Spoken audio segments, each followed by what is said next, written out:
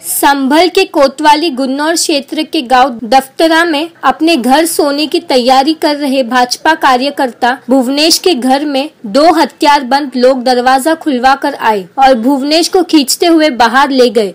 कुछ लोग बाहर पहले से ही खड़े थे, जिन्होंने भुवनेश के सीने में गोली मार दी। भुवनेश मौके पर ही गिर गया। फायर की आवाज़ सुन घर वाले भी आ गए।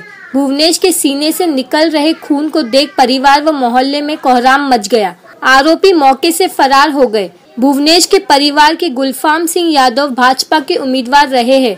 हालाँकि गुलफाम सिंह को जीत नसीब नहीं हुई है। भुवनेश भी भाजपा समर्थित जिला पंचायत सदस्यों के चुनाव लड़ चुका है। इसलिए आरोपियों से भुवनेश की प्रतिद्वंदता चल रही है और आरोपियों ने भुवनेश को रास्ते से हटाने के लिए गोली मार दी। गेहूँ सुबह गेहूँ निकलवा के आए, खानो लेवे, खानो लेके लेवे आए, जहाँ पे अम्मा तो बतला रहे अम्मा परेशान से सुबह थे इतनी देर आंटी हमारी खाना बना रही हैं अंदर रसोई में। और चाय बना रही हैं। उन्होंने कही चाय बना दे सो चाय बना रही हैं। आंटी इतनी देर में तो भी आके दो लोग एक ने हाथ पकड़ो एक ने पकड़ हित लेगा हम तलक दरवाजे तक और फिर आके चार पाँच लिपट पर गोली मार दीजिए गोली लगी है सीना पे। दो दो फेर तो दो गोली लगी एक झाड़ एक ऐसे करके गई है किस किस ने मारी?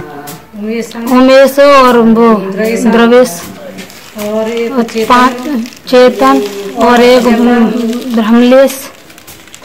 एक ब्रह्मलेश से भंगे घेंट घेंट गए। ये दफ्तरा गाँव है दफ्तरा गाँव में भुवनेश सनाफ राजेश थे तो अपने घर में सोए हुए थे, बैठे हुए थे।